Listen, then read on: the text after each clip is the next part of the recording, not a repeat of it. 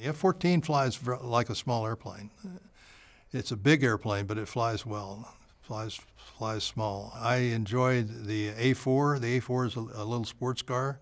You know, it's got uh, 270 degree per second roll rate. Put the stick over and you're through two 360 degree rolls about that quick. Uh, and of course, the F 117, which turns out to be, we, we tailored the flight control system so well that it's very easy to fly.